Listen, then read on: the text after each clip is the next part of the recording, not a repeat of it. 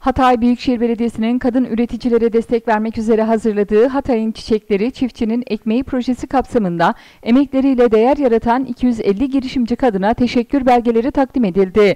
Hatay Üreten Eller Kadın Girişim, Üretim ve İşletme Kooperatifi ve Hatay Büyükşehir Belediyesi İşbirliği ile 19 Kasım Salı günü gerçekleştirilen etkinliğe Hatay Büyükşehir Belediye Başkanı Doçent Doktor Lütfü Savaş'ın yanı sıra Park Bahçe ve Yeşil Alanlar Daire Başkanı Mustafa Dönmez, Hatay Üreten Eller Kadın Kooperatifi Başkanı Ziraat Yüksek Mühendisi Nidal Özdemir ve girişimci kadınlar katılım gösterdi.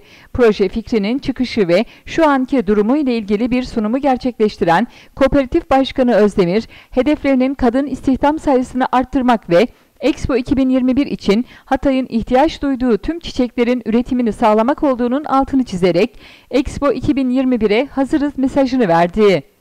Hatay'ın Çiçekleri Çiftçinin Ekmeği projesiyle Hatay'da peyzaj amaçlı kullanılan bitkilerin çoğunu kadınların emekleriyle üretildiğinin altını çizen Başkan Savaş şöyle konuştu.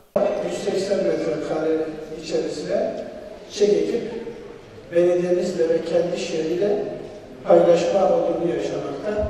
Daha da gelecektir ama en azından kendi vücutlarıyla barışıp doğal ürünlerimizle besleneceğiz. Yani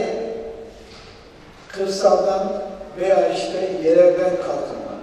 Biz bunu ikisini yapmak istiyoruz. Biz direkt toplayıp satıyoruz. Fransa işliyor, patentini alıyor, coğrafi işaretlemesini üstüne koyuyor, satıyor. Yani Fransa neyi satıyor? Sadece tıbbi ve aromatik bitki satmıyor. Fransa aynı zamanda marka satıyor. Biz kendi markamızı oluşturmak istiyoruz. Siz bu projeleri ne kadar güçlü ve ne kadar gururlu bir şekilde taşırsanız, sahiplenirseniz, sizden sonraki gelecek komşunuz, eşiniz, dostunuz, akrabanız, köylünüz, şehriniz bu projeleri o kadar daha fazla sahiplenecekler. Biz kaliteyi, organiği ve pazarlama kısmını elimizden geldiğince sizlerle birlikte yapacağız.